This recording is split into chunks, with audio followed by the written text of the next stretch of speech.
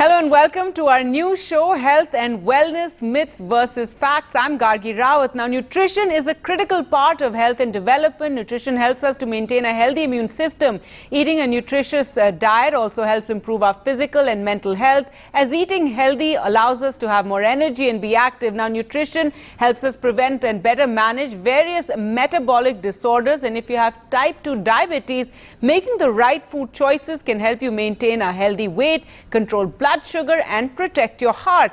Faced with so many food choices, it's easy to get confused about what you can and can't eat. Even people who've been managing diabetes for a while have questions about the types of diet and the amount of carbohydrates eh, that they should be consuming. Well, to clear all these and other questions and myths surrounding nutrition, we have an expert panel with us to give us the true facts about nutrition in diabetes. We're joined by Dr. Syed Hafizullah, MD Medicine, Internal Medicine Consultant, Apollo Hospitals, Chennai, and Dr. Rajesh uh, uh, Bhagchandani, MBBS, MD General Medicine, consultant physician, uh, Dr. Rajesh uh, Bhagchandani Clinic in Bhopal. Thank you so much, doctors, for taking time out and joining us on this uh, very important program. And Dr. Syed, I'd like to start with you.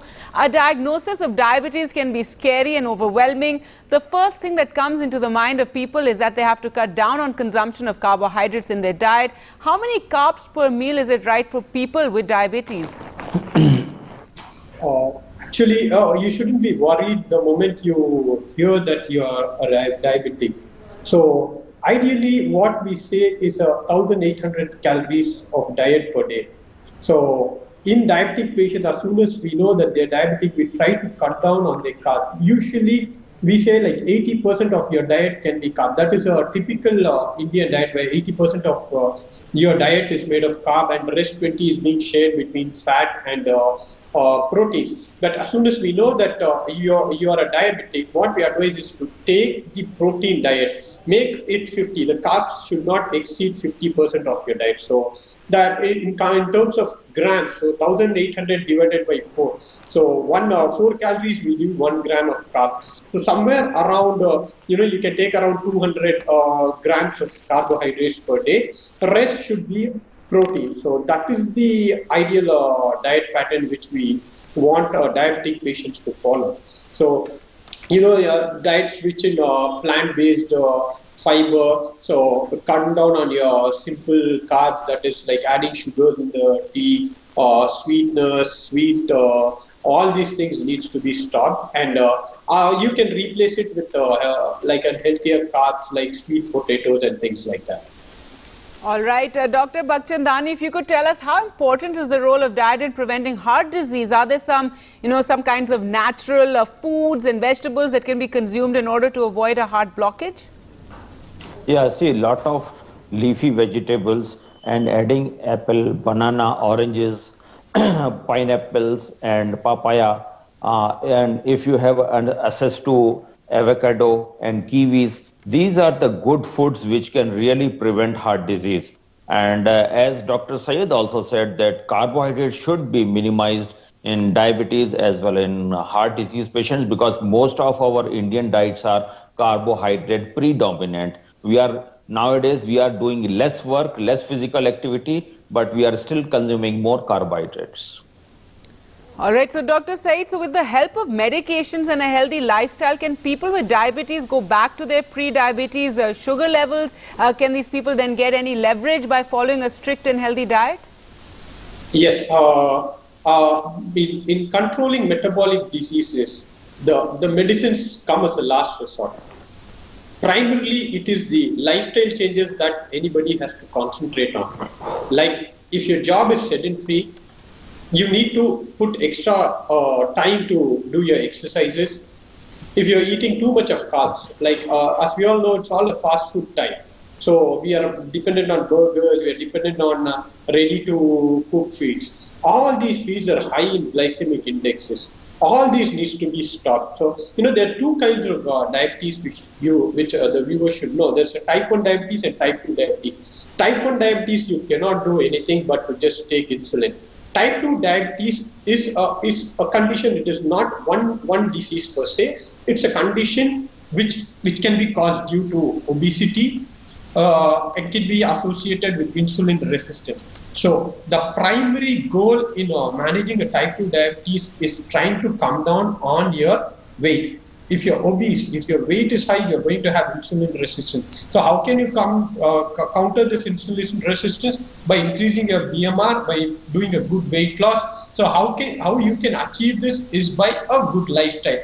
Uh, 30 minutes of walking per day, increase uh, protein diet, increase in plant-based fiber, cutting down on simpler sugars. And then is the point where your drugs are going to help. So merely taking drugs alone is not going to help uh, you in controlling or mitigating your type 2 diabetes and its complication, but rather it is the lifestyle changes first and then the uh, tablets or the medications which you should take for your diabetes. Having said that, uh, certainly very many of the patients who were obese, who were diabetic, whose sugars were totally you know, haphazard were under poor control with uh, with proper uh, prescription uh, prescription in the sense including their diet, their exercise pattern, and their medication with the proper weight loss. We have reversed diabetes for many of the patients. Reversal in the sense totally off from the drugs, totally off from insulin. They get back to their normal pre-diabetic status. Only thing that they should be follow following uh, for the rest of their life is a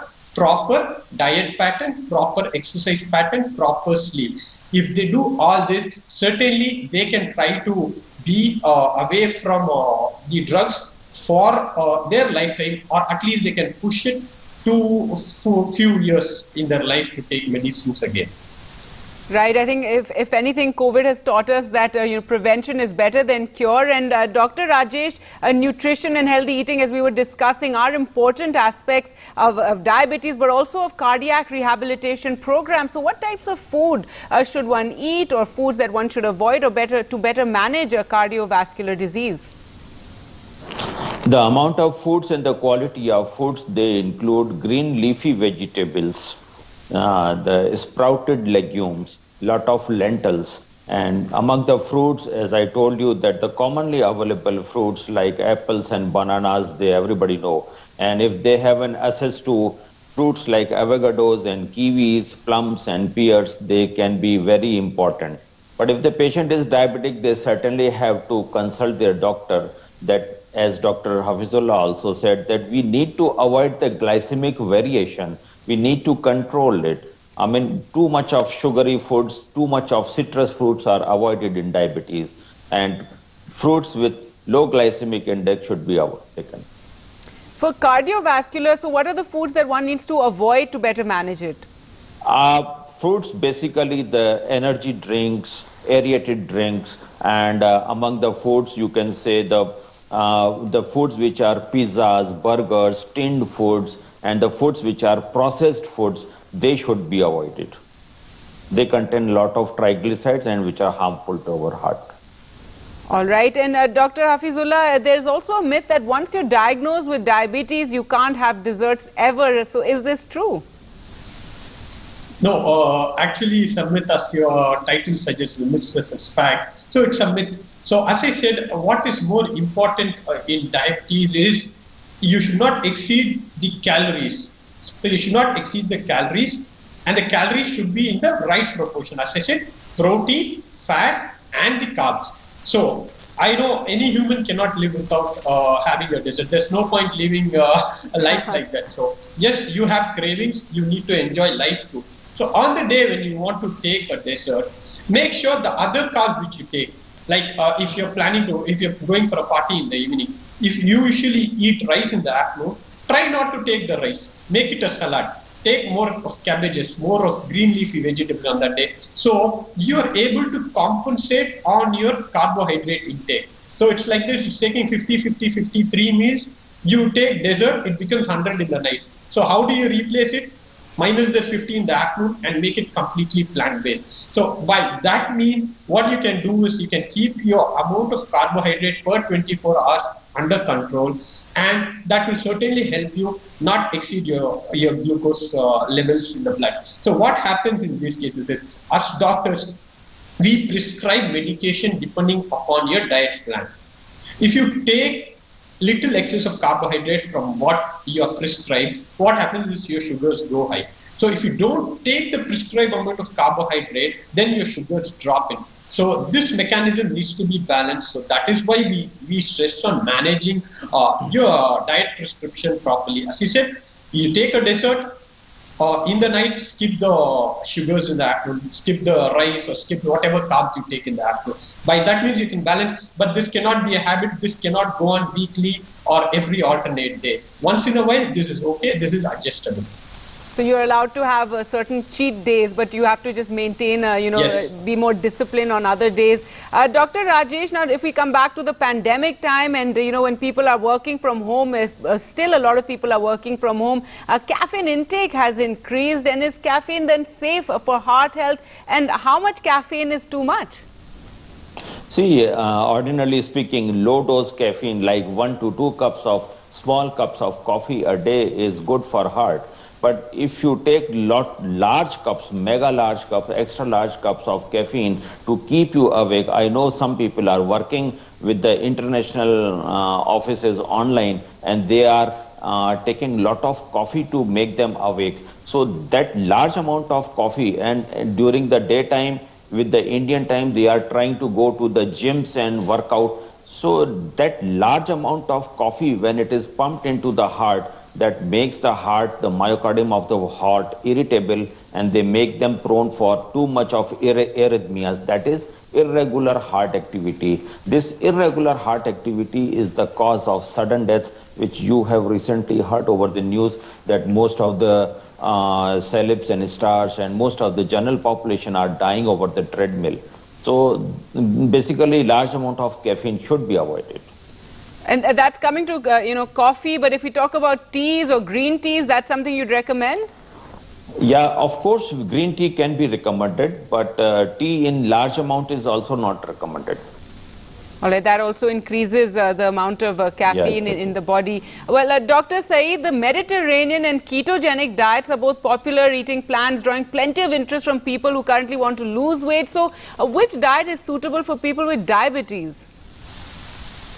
So basically, both the diets are almost more or less similar. They don't have uh, much of a difference. I just do not go with the names of keto or Mediterranean. Uh, we as Indians, we are, we are genetically uh, created by God to the current atmosphere, to our environment. We should have a own plan for ourselves rather than going keto or Mediterranean. The concept remains the same throughout. Uh, if you are a diabetic, your carbs should be the least of the uh, the intake you take. Uh, the first should be protein, and then comes the good fat, and then comes the carb. The concept are more or less similar, but these uh, these have become fashionable. The keto diet, Mediterranean diet have all become fashionable, and people just go online and follow the diet.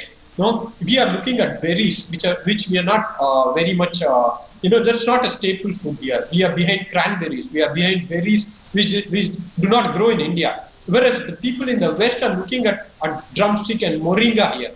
Moringa is more potent than than going at berries. You know, amla, amla, which is uh, our gooseberry, that has high vitamin C, which has high antioxidants. We are neglecting that and going behind, uh, you know, foreign and uh, all these fancy Mediterranean and keto. We are behind avocado, we are behind spinach, we are behind lettuce, and we are not using cabbage, we are not using cauliflower, which are all uh, our, once upon a time our staple food. So I would say the concept remains the same, and one one size doesn't fit all.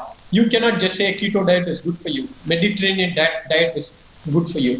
Diet in these uh, conditions, in metabolic diseases, is almost like a prescription that has to be customized depending upon what kind of allergy you have. If you have allergy to fish, Mediterranean diet is out of question. If you have allergy to olive, uh, Mediterranean diet is out of question. If you have lactose intolerance, again, a keto diet becomes a big uh, issue for you. So that has to be customized with your treating doctor, with the nutritionist associated with your treating doctor, and try to go desi.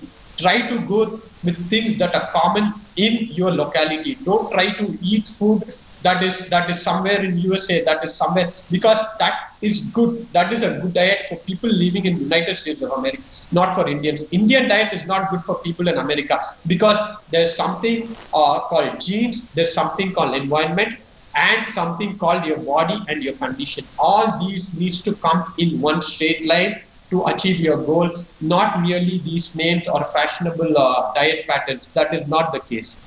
All right, so don't chase fat diets. Dr. Rajesh, anything you'd like to add to that? Yeah, I'll, I'll, I'll, I'll, I'll agree with uh, Dr. Hafizullah, but there is a little difference because the keto diets are purely ketone diets where all the body fats and metabolites are consumed to uh, fats are converted to ketones and most of the body is utilizing the ketones only and there is a drastic fall in the weight so this is made for people who very obese people who need an immediate reduction in weight, but it is not fit for all and it is not advised for all. And about the Mediterranean uh, uh, diet, would say that it is the diet which is being very prevalent in European countries around the Mediterranean Sea, and it's diet very much rich with green leafy vegetables, olives, and uh, fruits and vegetables. So this diet should be uh, taken if possible, but I would still stick to Indian diet that is a complete, it's a balanced diet. The only thing is we are still consuming too much of carbohydrate. If carbohydrates are taken drastically to normal or to minimals,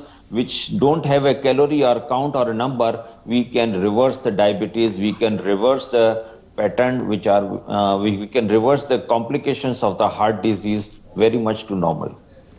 All right. Well, with that, time for us to slip into a short break. Uh, you've given us a lot to think about, especially when we talk about fat diets. And you're watching Health and Wellness Myths versus Facts. We'll be back after this break.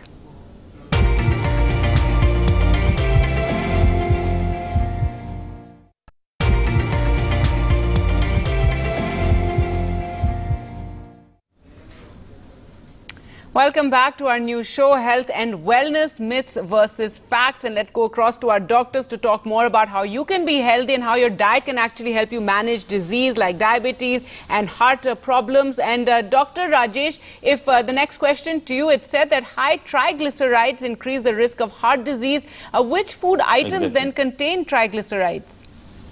See, most of the prevalent foods nowadays available and which are ready access to children like pizzas, burgers, cheese. These are the foods which should be avoided. All the foods, even in the Indian diets, which are which contain white flour or maida, they should be avoided. Our food, which is containing lot of gravies or oils, which are burnt, they should be avoided. They are directly increasing the triglycerides in our body and these triglycerides can be harmful as they increase the plaque, they narrow our coronary arteries and they make our patients prone for coronary artery disease at a very premature age. All right, and doctors say there's uh, obesity is uh, the most important risk factor for diabetes and even other diabetes related complications. How uh, will the person know if he or she is overweight and the and the person is overweight? How much weight should he or she lose to get their health back on track? So yeah, as you said, obesity is the biggest nuisance the world is facing today. Uh, obesity wasn't common in India because uh, you know, our work pattern, most of them were farmers. My grand great granddad, my granddad was a farmer, so he used to work. My grandmom used to help my granddad. So our lifestyle was like that. So we used to walk to the bus stand and then go to the work and then come back from bus stop to the, to your home. It was around a one kilometer or something like that. So people used to walk. Mostly it was involving manual labor. So there was some amount of calorie expenditure. People used to burn their uh, calories. But now what has happened is we go out of our home in the car, then come back, go to the gym, run in the treadmill. So many do that, many don't do. So our lifestyle has certainly changed, leading to overweight, obesity-related complications. So now, what is the weight? No, we can't say this weight is uh, bad. This weight is, uh, you know, above 60 is obese, above 80 kg is obese. So it is a calculation between your weight and your height. So that is how we calculate the BMI. So a BMI of 18 to 24 is adjustable, uh, acceptable, and a BMI more than 25 you call it an overweight, and if it goes on around uh, more than 28 you call it obese, and then more than 32 you call it morbid obesity. So everything comes down to your BMI. So your BMI should be somewhere between 18 to 24 and this has to be correlated with your body fat percentage. So body fat percentage again needs to be around uh, 24%. So any uh, fat percentage more than 24 is again harmful. This is where uh, you are prone to you know, once your uh, BMI is more than uh, 25 or your uh, body fat percentage is more than 25, you uh, what you call it as a metabolic syndrome. That is a syndrome where a patient or a or a person will have diabetes, hypertension, uh, high cholesterol levels. Uh, they can have coronary artery disease that is called heart attack or they can uh, are easily predisposable to stroke. Uh, they are predisposable to the venous ulcers, peripheral vascular disease. All these complications are directly related to your weight and uh, obesity-related complications. So again, as, as, the panel discussion ever has been uh, discussing from the start, it comes down to your diet and lifestyle. Your calorie intake and calorie expenditure should match any deficit of this will be stored as energy. So what amount, uh, whatever amount of protein, whatever amount of carb you take, if that is not being used, that is not being burned by your body, that will get stored. And how does it stored? It will not be stored as muscle. It will be stored as fat. So over a period of time, uh, you know, over uh, over six months, if your cal- calorie expenditure is less, you'll have one kg or two kgs of fat stored. And next six months, another two kgs will add on. So here is where we have to concentrate on your a calorie intake and calorie expenditure. So initially, you uh, you should go in for a hypocaloric diet and increase exercise so that you burn your uh, stored fat. So worst case, worst of all, morbid obesities. Now bariatric surgeries are there. Definitely, that should be the last resort in managing your obesities. All right, uh, the bariatric surgery should right. be last resort. Yes, Dr. Rajesh and also Dr. Rajesh, what foods are both type 2 diabetes friendly and good for cardiovascular health? See, as Dr. Hafizullah said that uh, a diabetic can have even the sweets, even the desserts they wish. So there is no contraindication to a fruit. But when the sugar levels are quite high, so fruits with the high glycemic index like citrus fruits should be avoided. I have seen people taking juices. Juices should be avoided. Instead, people should take the fruits which are more nutritious and they carry a lot of fibers. So all the fruits uh, which are citrus, uh, apple being the best fruit for diabetic as well as uh, a heart disease patient, bananas again, kiwis, apples, pineapple, and berries, as Dr. Hafizullah said, if they are available and if they are very easily accessible, they can be beneficial for the heart. The main content is that the carbohydrate should be decreased and the fruit should be decreased. The fruits with the simpler sugar, they should be avoided when a patient is running a blood sugar of 300 and 400. Now, right. if a patient is, it's a simple calculation. If the patient is having a blood sugar of 400, he is advised to cut down the blood sugar to 200. That means the patient is advised to bring down the carbohydrate content by 50% on every meal. So if this is a simple formula, with which if he follows, he can revert back to the normal pre-diabetic state and obesity also, as Dr. Hafizullah said, it carries a worst prognosis because it increases the resistance to insulin and makes the uh, high triglyceride levels, they are again harmful to the heart. All right. Well, thank you so much, uh, doctors, uh, Dr. Uh, Hafizullah and Dr. Bhagchandani for joining us on this program and talking about good nutrition and managing your health. Uh, thank you all for thank watching. You. Goodbye. Thank